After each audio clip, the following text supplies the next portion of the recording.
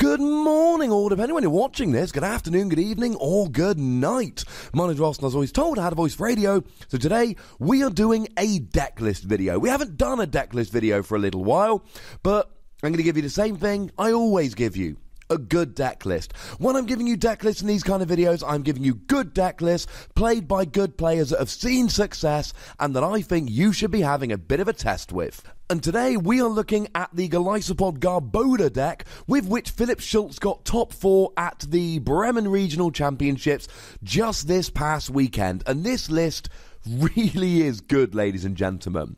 Starting off, we have got four Wimpod, and they are the Burning Shadows ones, the ones that give you free retreat on the first turn of the game.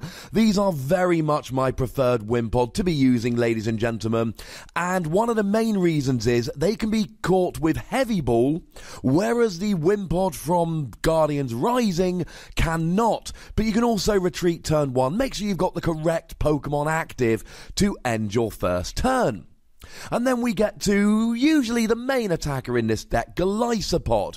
Now, we've talked about Golisopod a bunch of times, but the best thing about Golisopod is his first attack, first impression. 90 damage if you were on the bench and became active this turn.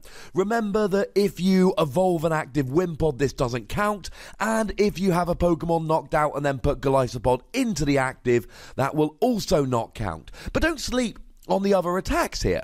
Armor press 100 when you add a double colorless, take 20 less the following turn. That might be the difference between you surviving a hit and you not. And as a general rule, if you can get a KO with armor press, you always try and get a KO with armor press.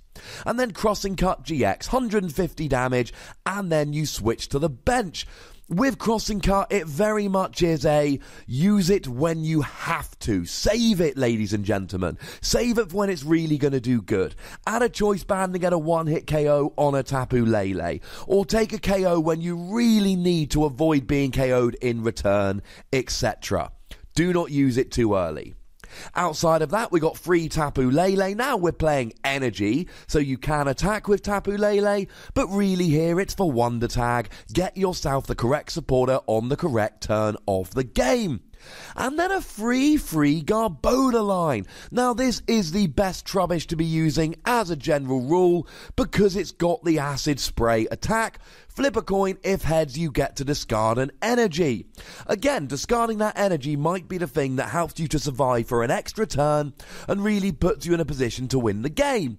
Although most of the time you don't want to be attacking with Trubbish here. One ability lock Trubbish. Now, there is an issue here if this ends up prized, but you'll notice that there is a town map in this deck to avoid that exact scenario happening. There's plenty of decks like Vikavolt Bulu, like Greninja, where you really need to get the ability lock, and only playing one of the ability lock Garbodor is an issue, but you can play Town Map to try and help, and at the end of the day, ladies and gentlemen, you need that space for other stuff. And then two of the Trash Avalanche Garbodor because, well, it, it's just a great attacker. Your opponent has to limit the amount of item cards they use, or else things are going to end up going very, very poorly very, very quickly indeed. Don't sleep on the fact you can use acid spray here as well. You know, one rainbow energy, double colorless 70, discard a coin on a head flip. But again, this is not really the attack you want to be doing. This is a deck that thrives on single energy attackers attacking with Garbodor for one energy, attacking with Golisopod for one energy. That's the plan here, ladies and gentlemen. And then there's a single copy of the promo Magearna. Now, a lot of you might be unfamiliar with this, it's not a widely played card. For one colourless energy, you can heal 40 from one of your bench Pokemon might come in useful, I suppose, occasionally, but more importantly, one metal energy, 20 damage times the number of different types of Pokemon on your opponent's bench. Now, against the Rainbow Force Xerneas that does try and have as many different types as they can, this is going to get you an easy one hit KO. This really shores up the Rainbow Force matchup. And if you're expecting to be playing against that deck, this is a great tech. Otherwise, I'm skeptical about how useful this is. Against something like a Gardevoir deck, you really need them to be playing five different types of Pokemon in order for you to do 230 with a choice band and get a one hit KO.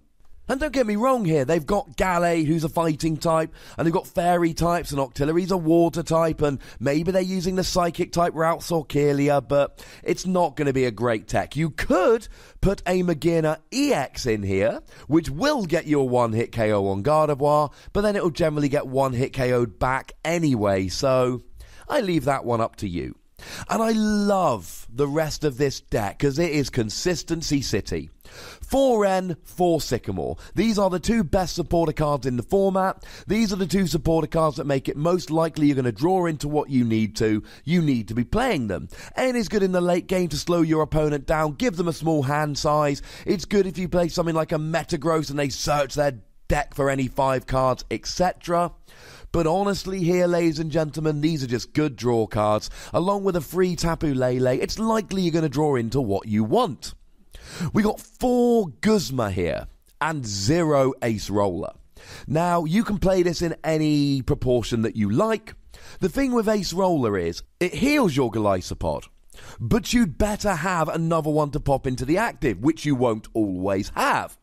And it doesn't really advance your game very much. Whereas with a Guzma, you just build up all your Golisopod on the bench and then you just Guzma around. You hit your opponent, they retreat to the bench. Instead of using an Acerola to heal and hitting a new Pokemon, you use a Guzma to bring up their Pokemon while switching to a new Golisopod, getting the 120, putting the previous Golisopod out of harm's way, and taking a KO at the same time. I really like this, ladies and gentlemen.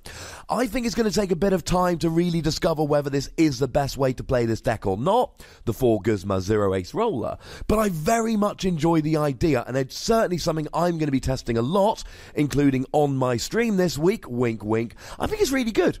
I think it's a really good idea. The zero Acerola make me a little nervous, but I love the fact here that you're taking KOs rather than going the more defensive Acerola route of preventing KOs while your opponent also gets to prevent a KO. You switch to the bench without healing using Guzma but you also bring their Pokemon active to take the KO. Four Ultra Ball because it's the best way to search for Pokemon, and two Heavy Ball here. Heavy Ball is great here because it searches out your Wimpod, it searches out your Golisopod, it searches out your Garbodor, although it doesn't get your Trubbish or your Tapu Lele, which is a little bit sad, but you know, these things happen, and yes, it will get either of the Garbodor here. So in terms of search, four Ultra Ball, two Heavy Ball seems pretty good. Four Floatstone is needed here. Firstly, you need tools to turn on Garbodor's ability to turn off everybody else's ability. But secondly, it's just really good for getting out of the active so you can pop a Golisopod in the active. Hopefully, several turns during the game, you'll have a Guzma to switch for you, but you still need Floatstone when you don't have it. Or if you've only got one Golisopod, you Guzma, put something active, and then retreat it with the Floatstone. Free Choice Band is great because Choice Band does extra damage. Choice Band is amazing. It does extra damage. Doing extra damage is always good. Why free, not four? Space. Generally, free will be enough. Generally, free will give you one when you need it. And honestly, I'm sure if there could have been a fourth, there would have been. But we've only got 60 cards with which to play, ladies and gentlemen. We cannot do it all. Now, I adore the energy line here. Four rainbow, because that's all you're allowed to play. Four double colourless, because that's all you're allowed to play. Four grass. This is more energy than Naoto played in the World Championship finals, and I really like that. You've got eight energy, which will feed your Golisopod, and though you've only got four that will feed your Garbodor, that's more of a mid to late game Pokemon, so it doesn't matter so much. And then rounding out one copy of Brigette to search for those Pokemon. If this is prized, it will suck because then you're going to Lele and you won't get the Brigette, so you won't get all your Pokemon out. Having said that, we expect Brigette to be prized one every 10 games. And on that game, grab an N. You're still playing four Ultra Ball. You're still playing two Heavy Ball. You should still be able to get set up nicely. You need Golisopod, yeah, well, you're playing four Wimpod. So as annoying as it is when your Brigette is prized, I think here the deck should be consistent enough that although it will be annoying, you should be able to set up regardless. One town map, like I've said, you just need to be able to get your prizes. You need something like that single copy of Garbodor or that single copy of Magearna, etc. It's too important not to.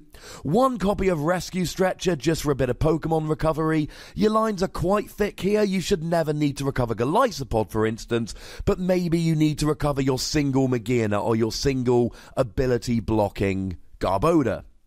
And finally, two Enhanced Hammer. I love Enhanced Hammer. Against something like Gardevoir, you're going to be able to get rid of their double colourless, hopefully slow them down enough to win the game.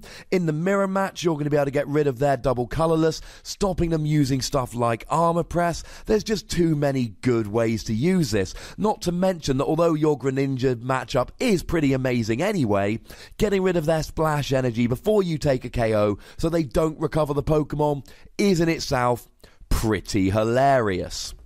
And that, ladies and gentlemen, is a pretty good Golisopod Garbodor decklist. Good enough for Philip Schultz to be getting top four at Bremen Regionals. I may well bring you more deck lists in the future, but as always, ladies and gentlemen, I would like to know if that's something you'd like. Let me know in the comment section. Go nuts! Be nice. Make sure you like this video, subscribe to this channel, follow me on Twitter at the Wossy, and Twitch for some live action at twitch.tv slash PTCG Radio. If you want to support the channel, get some bonus pods, etc., you can do so at patreon.com slash PTCG Radio. And by far the most important thing, as always, look after yourselves until next time. Thank you very much for watching. My name is Ross, and you've been watching PTCG Radio.